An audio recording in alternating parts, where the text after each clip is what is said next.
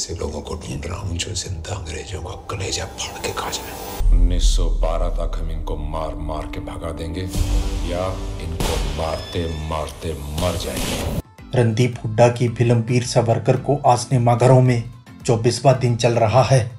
तो आज की इस वीडियो में हम आपको वीर सावरकर के 24 दिनों के बॉक्स ऑफ़िस और वर्ल्ड वाइड कलेक्शन के बारे में बताने वाले हैं। यानी इस फ़िल्म ने इंडिया से अब तक कितना कलेक्शन किया है? भाई, इस फ़िल्म की दुनिया भर से कितनी कमाई हो चुकी है? हम आपको इस वीडियो में बताने वाले हैं। इसलिए आपसे रिक्वेस्ट है कि आप इस वीडियो को अंत तक ज़रूर देखें।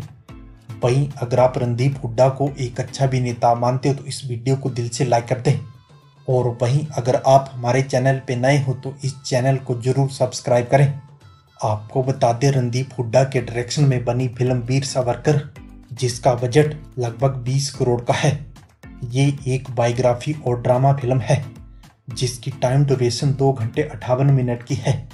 तो वहीं इस फ़िल्म को अनंत पंडित और संदीप सिंह ने प्रोड्यूस किया है।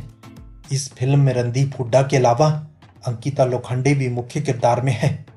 अब बात करें कलेक्शन की तो आपको बता दें, वीर सावरकर ने जहाँ अपने पहले दिन इंडिया से एक करोड़ दस लाख का नेट कलेक्शन किया है, वहीं इस फ़िल्म का पहले दिन का वर्ल्ड वाइड कलेक्शन एक करोड़ अस्सी लाख का रहा है।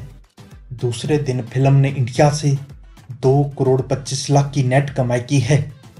वहीं इस फ़िल्म का दो दिनों का वर्ल्ड वाइड कलेक्शन पाँच करोड़ पाँच लाख का रहा है। बाईसवें दिन फ़िल्म ने इंडिया से चालीस लाख की नेट कमाई की है।